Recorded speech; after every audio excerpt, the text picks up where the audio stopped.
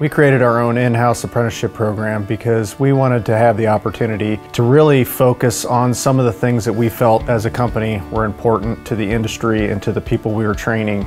We have a lot of good professionals that work here and we felt like we could take that knowledge and pass it on to our own employees. If you're in the heating and air conditioning industry, you are to be licensed.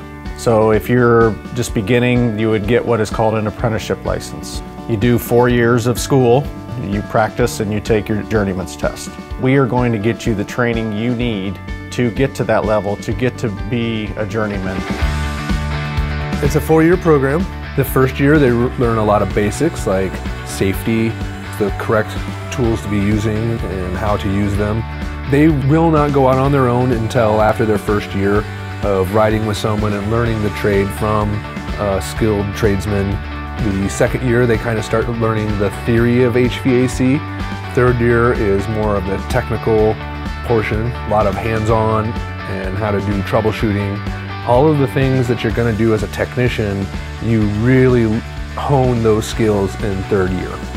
Fourth year, they step it up even higher and they're learning commercial, customer relations, and some of the things that we may not do here at Bell Brothers, but we're still giving them that education because if they decide to move out of state or something, this industry, you can take this anywhere.